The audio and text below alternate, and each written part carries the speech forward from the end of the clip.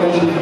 Und das ist jemand, der so ein klasse Spiel abgeliefert hat, ist ein Traumhaft. Also, danke Kosen für das klasse Spiel und äh, wir gewinnen zusammen und verlieren auch zusammen. Das ist ein dummer Spruch, ist es. Das ist halt schade nach dem Landsberg-Spiel, wo wir auch Punkt waren, vielleicht sogar auch zwei, das ist jetzt hier wieder so passiert. Aber wir sind Trend, es geht aufwärts und äh, wir haben heute vieles richtig gemacht.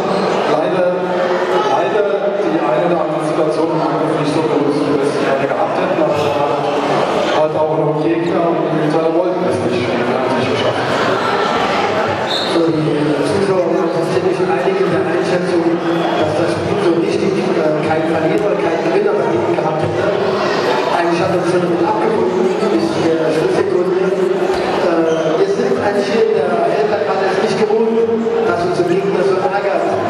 Wie soll ich das gelungen? Aber wir haben eine sehr motivierte Abwehr gespielt.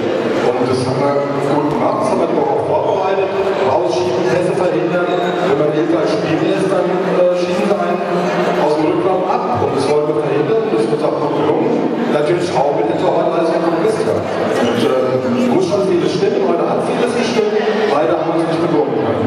Und äh, ja, gerechter Punkt, ungerechter Punkt. Am Ende des Tages haben wir keinen Punkt. Ne? Ähm, natürlich hätten wir gerne einen mitgenommen. Äh, jo, schade. Aber so ist es. So ungerecht, ne? Ist wahr. Steffen, wir können uns nur freuen. Hauptsache zwei Punkte können wir sagen. Äh, trotzdem, welche Lehre kann man daraus ziehen? Was hat uns so überrascht gegen diesen, ja, sehr, bisher den stärksten Gegner in der Helderkarte in dieser Runde? Also uns hat nicht so überrascht, weil wir wissen, dass Gutenheim eine sehr hohe Qualität hat, sehr hohe individuelle Qualität. Ähm, wir müssen einfach auch von diesem Modus runterkommen, dass wir jeder jeden Gegner beherrschen. Das ist uns natürlich diese Saison gut gelungen, aber das wird nicht in jedem Spiel so sein. Heute hatten wir Angriff einen rabenschwarzen Tag, egal welche Aufstellung wir probiert haben, welcher Spieler wo gespielt hat. Kein Spieler hat seine Leistung gebracht. Das war bei Budenheim eigentlich ähnlich. Axel hat auch viel probiert mit allen Spielern auf allen Positionen. Das Spiel wurde ganz klar bestimmt. Der Axel hat schon gesagt, nicht nur von seinem Torhüter, sondern auch von, von Daniel Stegmann, der auch eine überragende Leistung gebracht hat. Und dann, ja, das war absolut.